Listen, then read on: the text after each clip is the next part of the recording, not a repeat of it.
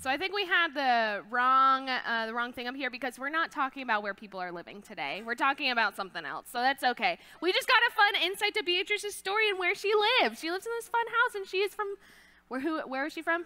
Brazil. Thank you. You guys for listening. Okay.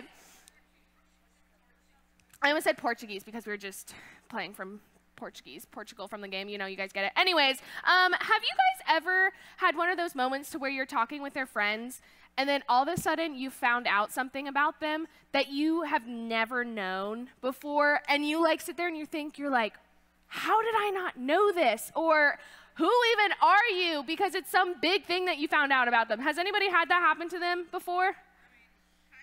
Kind of. Okay i'll give you guys i'll give you guys an example if you don't know what i mean yet. So you have gone your whole life knowing that person and then all of a sudden you find out that they're actually really, really into anime. And that's something that you never would expect from one of your friends. Or you, they play an instrument and have play, been playing it since like five years old, and you're like, wait a minute, I didn't even know you were musically talented. Or just randomly, they're super into origami and they can make those little cool dragons really tiny. Has, does any of your friends know how to make origami dragons? Yeah, that's so cool.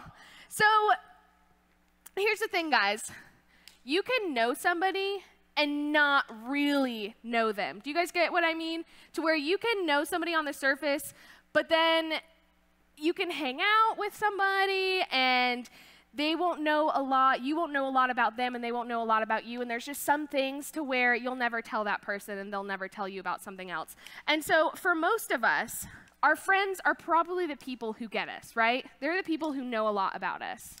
Do you, do you guys agree with that, or is that a false statement there? Perhaps.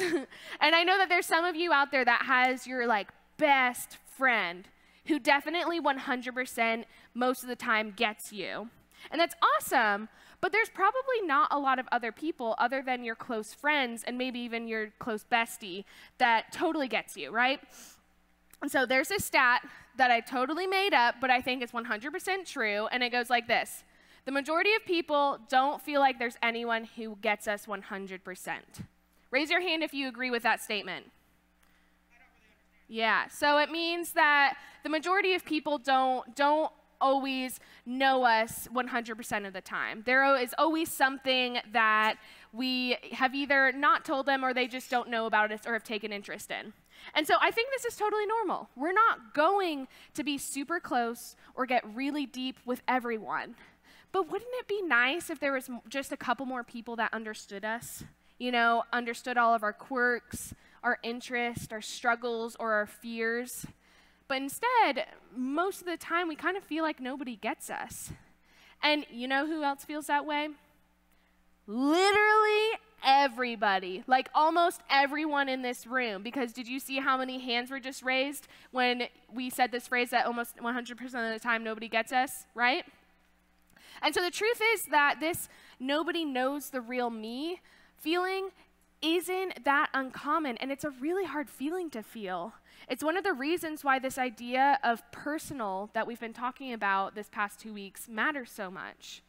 You know, because whether you knew this or not, you are actually wired to be known. We are wired for community. You were made to have somebody who gets you, who understands you, and knows what your real world is like. Not just this stuff that you tell people, but who you actually are on the inside. And this, my friends, brings us back to this guy that we talked about last week named Zacchaeus.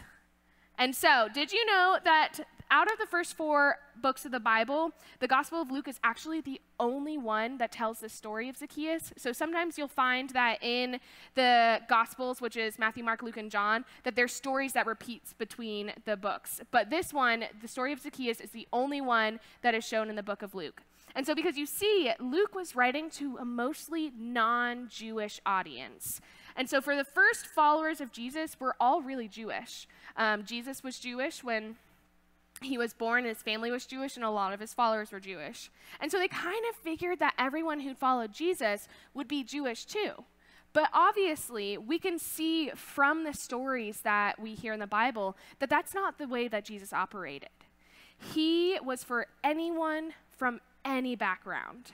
And so it was natural for the non Jewish people to kind of not really feel like they fit in really anywhere because they followed Jesus, but most of the followers thought everybody was Jewish, and so they didn't fit into that Jewish um, population there. And so it's easy to imagine that these are the people Luke wrote about because these were the people that Luke was writing to. Because he wanted his readers to see how Jesus treated people like them. And so Luke shares the story of Zacchaeus, who, like we learned last week, was on the outside of the group. He was on the outside of society. Not a lot of people liked him because he was a Jewish ta- tax collector, which, long story short, was a super bad thing to be during that time.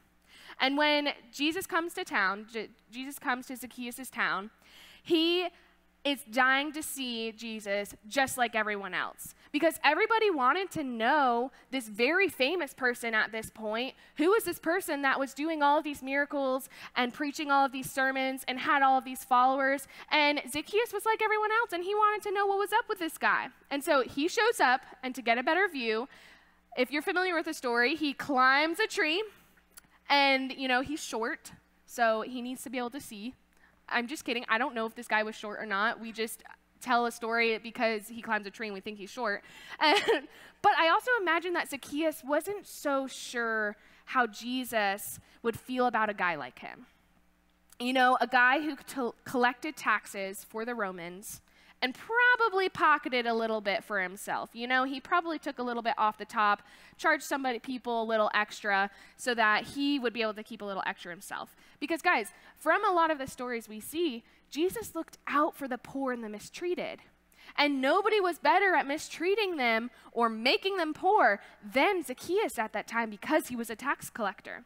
So he probably wasn't looking to stand out at all. He was probably looking for a far enough spot to where he could climb up a tree, he could be out of the crowd that didn't like him, and so he could just get a glimpse of this amazing guy that everybody was talking about.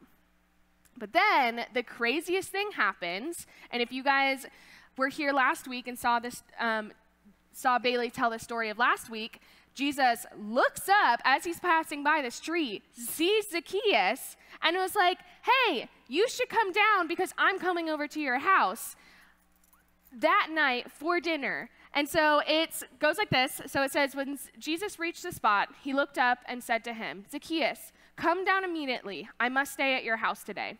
And so we hear that and think, in this day and time, if someone were to do that to us, if we don't have people, you know, at our house a lot, we would think, wow, that's a little bold. I mean, cook me dinner. I'm coming over with like absolutely no warning. I don't even know if I have any dinner at home. I maybe have a box of ramen from like three years ago that you could have, Jesus.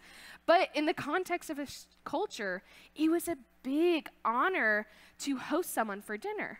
And so having someone in your home sent a message of friendship. And so, why did Jesus invite himself over specifically to Zacchaeus' house?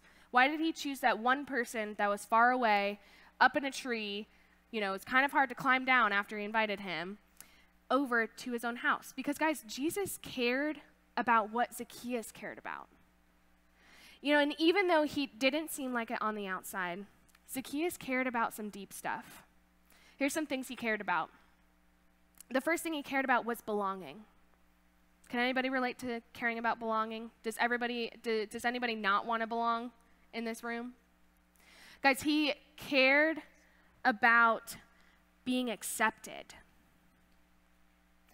He cared about being seen, and he cared about being known. And how do I know that? How do I know that that's the things that Zacchaeus wanted? Because, guys, he was a human being, and we literally all want that. And we especially want that when we don't feel like we belong anywhere. Have you guys ever had that feeling of like you don't really belong anywhere? You're just kind of on the outside of things. You have a group of friends, but you're not the best friend of everyone.